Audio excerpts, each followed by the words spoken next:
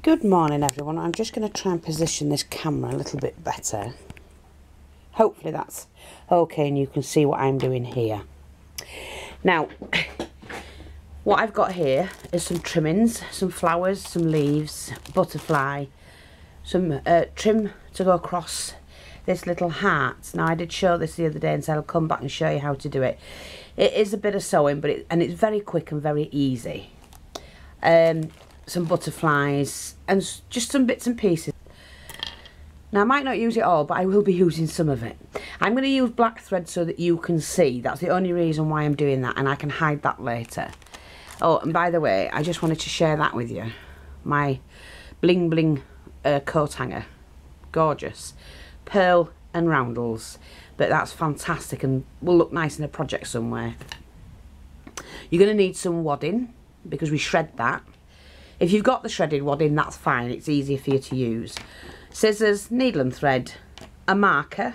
I'm using a marker because I'm showing you how to do it. But when you do it, you could use, you know, your uh, fabric pens or something like that. Um, and the other thing was we needed... so, let's get going.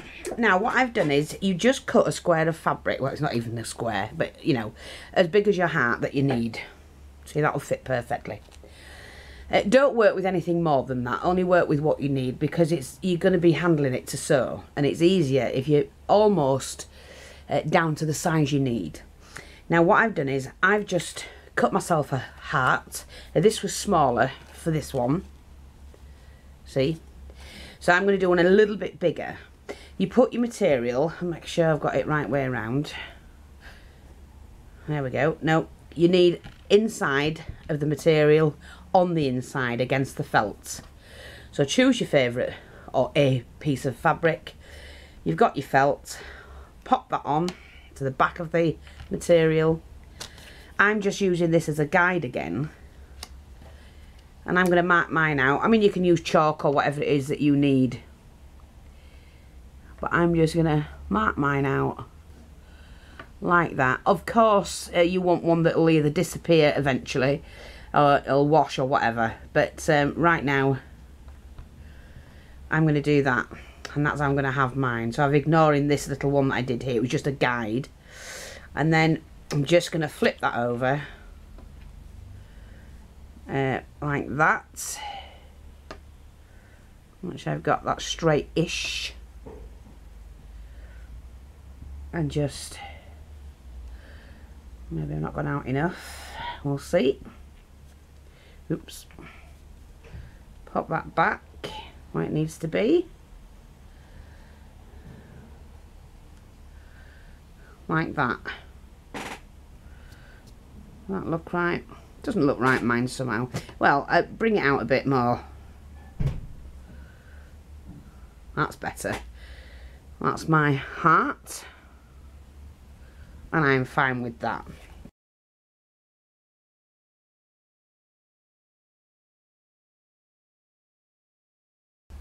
I'll just ignore, ignore that little bit there. So that's the guideline that I'm going to be sewing on. Now we're going to be doing a back stitch. Now like I say I'm using a black thread only because it's easier for you to see. Now you can do this on the machine if you want to and then hand stitch the last portion. But we need to sew around that and leave about an inch and a half there and that's all you need to do. So and I'm going to use a back stitch. So first of all I'm just going to go through the front of the material there and do a couple of small stitches to start with just here. Okay like that. And then right so there I've got my stitches to start me off. And then what you do is I've done the first stitch and I'm going back towards that one. So put your needle back towards that and then you want to bring it in front of this last uh, the first stitch you did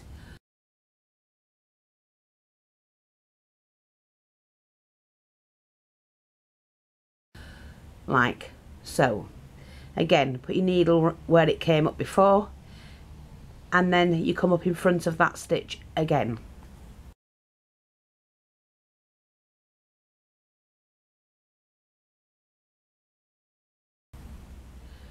and that's what we're going to be doing is just to give it a back stitch and it doesn't have to be perfect I would suggest to do small stitches only because um, it's less likely and I'm using a double thread uh, less likely to uh, come undone so we're just going to do small stitches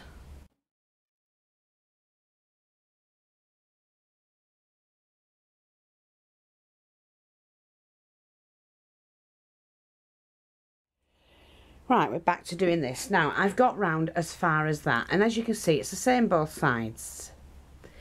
And we're leaving about an inch and a half gap. Now, what you need to do then, pop that to one side. And then you need to take hold of some of the wadding. Um, and I cut mine into small strips. Uh, small pieces. you know, just trim a load off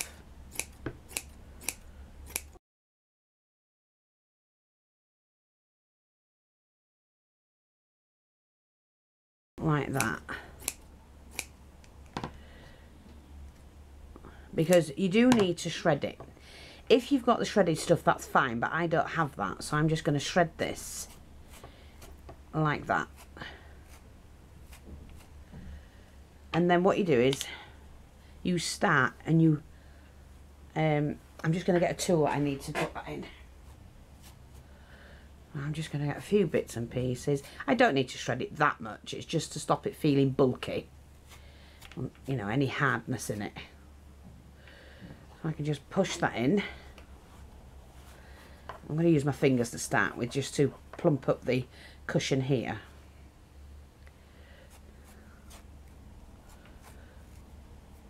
Doesn't take long to do really.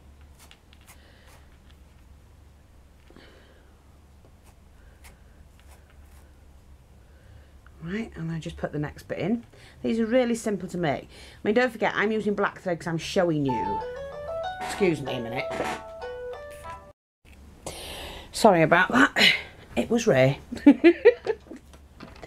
oh dear and for those of you who don't know new ones to the website Raymond's got a very good habit um, he is extremely good at it um, of calling when I'm filming. And you will often hear in many of my videos, I'm filming! because he just does. I think he uh, he's got a little clock in his head or something. It goes off when I'm filming. Or somebody somewhere. How he does it. Oh, she's filming, Ray. Ringer, ringer, ringer. Oh, we don't hide anything on these videos. We're, as you, you know, as we, you see us and hear us is as we are. There's no airs and graces on this site. We're down to earth, general people. That's it. Uh, mistakes and all. So I'm just padding that out really nicely.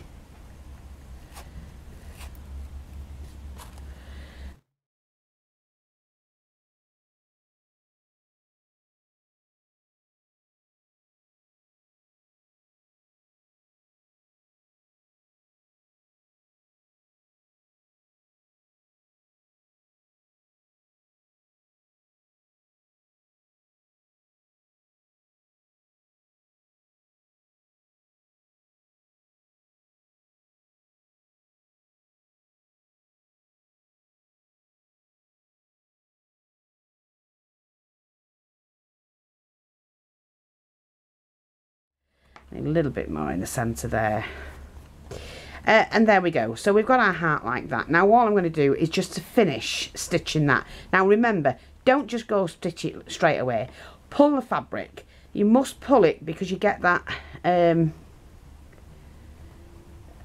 you don't get any puckering in it.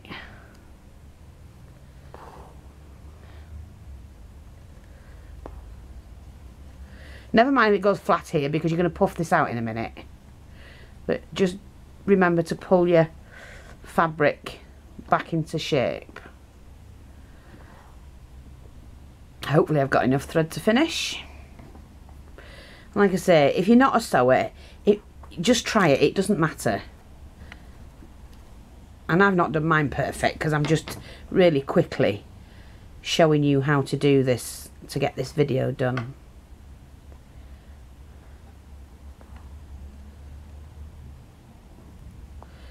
There we go. So we've got this heart done now.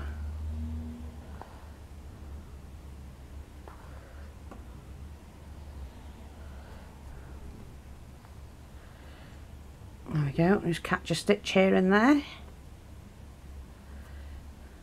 That will do. I'm just going to cut that off. Put my needle in my dish so I don't lose it. Now we just move this about so you've got the shape that that's it that's fine. See? And then what you do is you leave a lip on it. Now it's already got a lip here because um, I need to add lace. So we just cut I mean you could use um, oh god.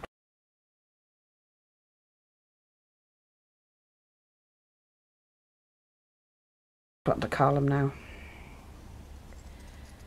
Oh, back is zigzag. Do you know, I can't remember at all. I've so much on my mind and trying to remember everything I've got to do that I just can't think of things and I'm getting really frustrated with myself because, you know, running a business is not an easy job. you do have to remember an awful lot of things. And yes, I could you look, I haven't left enough space there, but it doesn't matter. Um, I could use a notepad. Well, I do use notepads. I've notepads all over the place.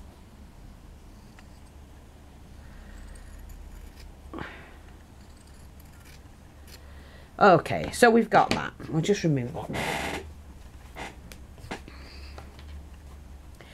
Okay, so that's our little heart.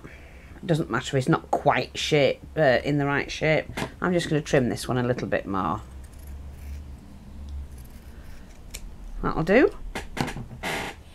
I've got the glue gun on because I'm going to use the glue for the lace. Here's the lace. I'm going to do that next. Now,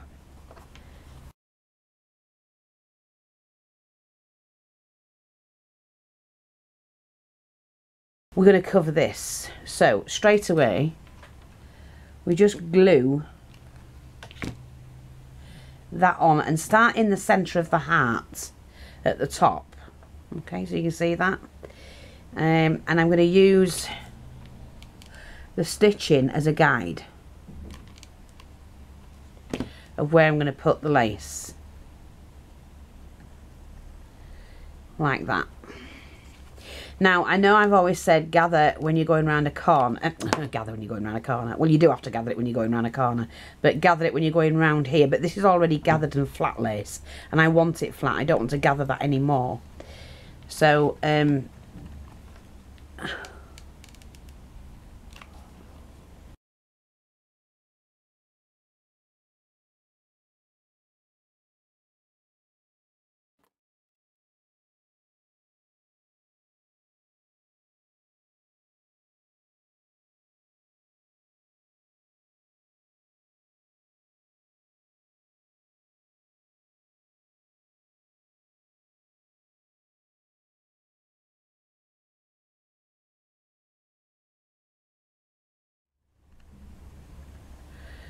like that.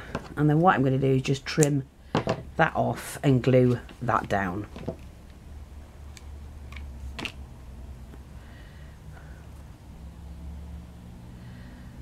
Like that. And you've got a beautiful little hat. And it's so simple. This you can hide yourself. You can put some more lace on the other side if you wanted to. I could go around that again and it will just hide that perfectly. Use a in fact, let's do that. I think we'll do that. We'll use a broader lace.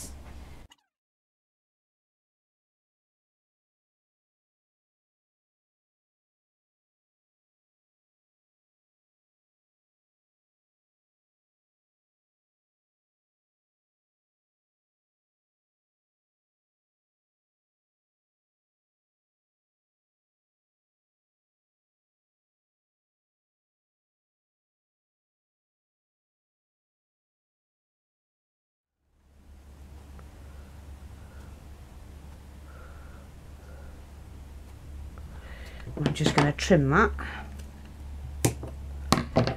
And just glue that bit down. See? And then oh look isn't that pretty? So we've gone even better. And it does make it look bigger as well doesn't it? So add a bit more lace. You could even do a third layer and that would be absolutely fantastic. So, all I did then, and with this one I think I'm going to put these flowers on because I just love them. Um, I just, they're just fabric flowers. And I'm just going to pop a little bit of glue here and there. I'm going to sit these in here. It doesn't have to be perfect whatsoever. Uh, like that. Hmm. Let me have a look. See, I could pop. I'm going to do that. I just, it's just to show you. I mean, you can do whatever you like. I'm going to pop that on there. I did have a, just to put a little bit of glitter on it, a glam. I do have a crystal pearl drop. See, it looks pretty. You can add some beading around here. Um, and then what I'm going to do is just, I've got some of my uh, beautiful, this is back in ladies. I mean, it's been one of the best sellers this. Because it's absolutely elegant and chic. Perfect. And I'm just going to go straight across the side, at the, the top like that.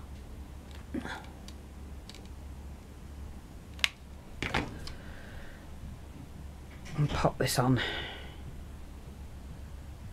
like that. Perfect.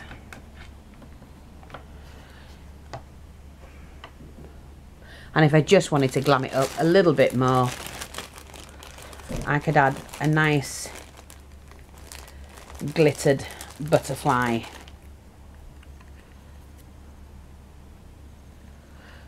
Shape the wings a little bit.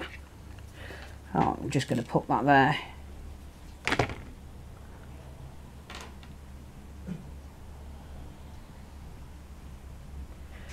Like that.